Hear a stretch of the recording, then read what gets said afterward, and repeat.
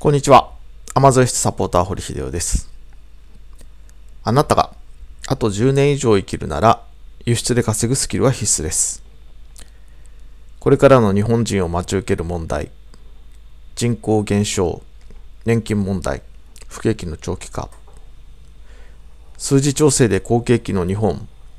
でも本当の景気を表す実質賃金は低迷、税収は伸びないが、社会保障関係費はどんどん膨らんでいく。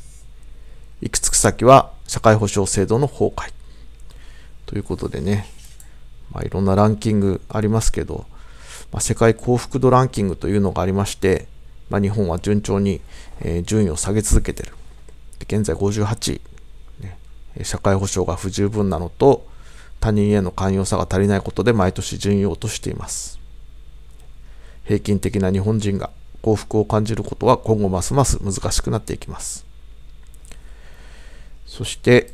別のランキングで世界重税率ランキングというのがあります。税金がどれぐらい重いか。まあ日本2位ですけど、この1位のね、アルバという国は人口10万人しかいない国ですから、まあ実質的にまあメジャーな国というかね、えー無理やり1位を見つけてきたみたいな感じなんで、実質的にはもう日本が、えー世界一税金が重いと。そうですよね。名前を変えた税金、年金やらね、健康保険やら、介護保険やら、えー果ては NHK 受信料も近いですかね。そういうのも合わせて考えると、もうダントツで日本は、えー税金が重いということになります。幸福度は低いけど税率は高い。というかね、これ税率高くて、えーみんな貧しいからやっぱゆとりもなくなって幸福度が低いんだということになってると思います。そうするとね、この、えー何って感じなんですけど、これ実はね、えー借金、ね、国にどれぐらい借金があるかのランキング、もう日本は堂々の1位、ね、えーもう借金、借金ね、多すぎてひどい状態だから、もう政府機関止めますとか言ってたアメリカもね、日本に比べれば全然マシ。日本はもうダントツで、えー借金が多いと。ねまあ、借金が多いからこそ、まあ、このね、えー税金が重いと。で、税金重い。ねえー安月給で税金が重いから幸福度ランキングが低いというふうにね、え全部、まあ、関連があるんですけど、まあ、さらにね、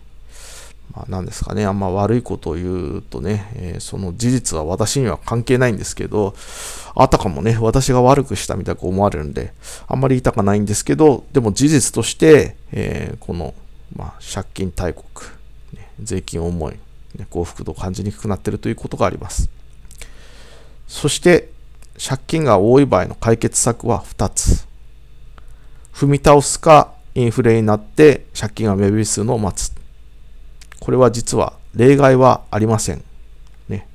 いやいや、税収が増えればね、国債も返還できますとかっていう意見もあるでしょうけど、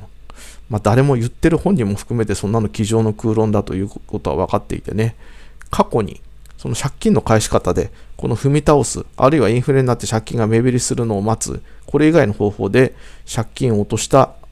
借金を返した国はありません。あるいは政府はありません。その後、まあ、これどっちか起こると。どっちか起こるっていうか、まあね、今、インフレターゲットとか言って、なんとかインフレに持っておこうと。見境なくお金をばらまいて吸ってますんで、まあ、なんとかインフレにしようとしてるのはね、えーもうこれあの、隠してもいない。もう堂々と宣言してますからね。ただ、こんだけ借金が多いと、まあ、限度があるのかなという気もしますけど、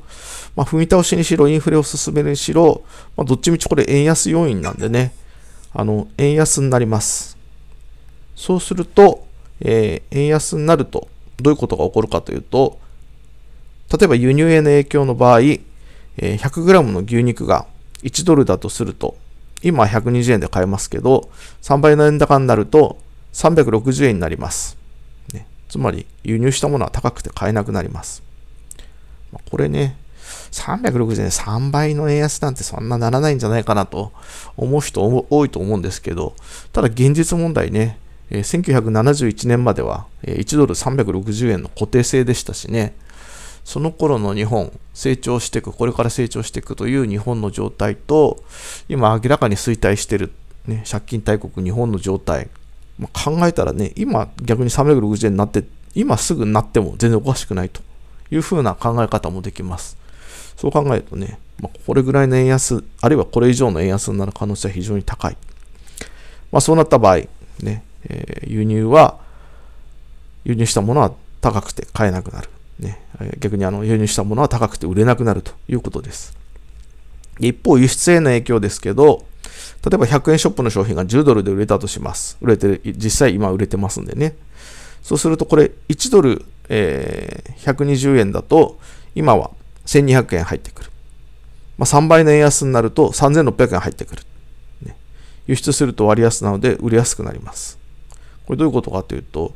3倍の3600円ですからね、えー、今の100円ショップの商品が3600円で売れたら、いや、そんな高くなくていいでしょうと、ね、あの、2400円で十分儲かるよと言えばね、安くして売っても全然儲かるという形になります。まあ、今、現時点でね、もうすでに輸出輸入と輸出、えー、明らかに輸出の方が稼ぎやすいですし、えー、それはね、えー、副業レベルのこの輸出ビジネス、輸入ビジネス、比べてもそうですし、まあ、もっと大きく言えば企業ね、えユニクロとか、えあるいはね、えラーメン一風堂とか、海外に出てる、え会社は元気、ね、あるいはドン・キホーテみたく日本にいるけど、外外国人観光客を相手にしてる、え会社は元気。一方、国内を、ね、国内の一点張りでやってる、えー、あるいは一点張りでやるしかない銀行とかは、もう、えー、悲惨な状態と、ね。そういうのを考えると、まあ、輸出ビジネスで稼ぐスキル、覚えておいて損はないというか、覚えとかないとまずいと。もしもね、えー、円安とか円高、そんなに動かなかったり、あるいは円高になったとしても、まあ、日本で稼ぐよりは稼ぎやすいと。一方、ね、円安が進んだ日にはもう、えー輸出ビジネスで稼ぐスキルを覚えとかないと、もうかなり悲惨なことになります。そういった意味でね、日本人が今のうちに見つけるべきは、輸出ビジネスで稼ぐスキル。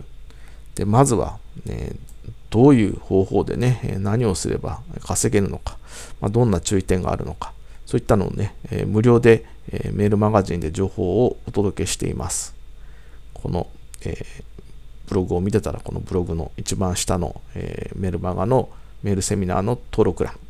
で、今動画を見てる方はね、え動画の説明欄に、えメルマガ登録の URL が貼ってはありますんで、まあ、そちらをクリックして、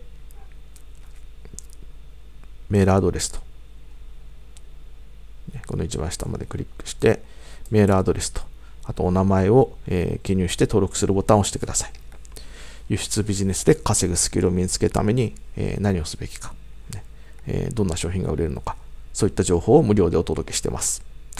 ご登録お待ちしてます。以上、Amazon 輸出サポーター、堀秀夫でした。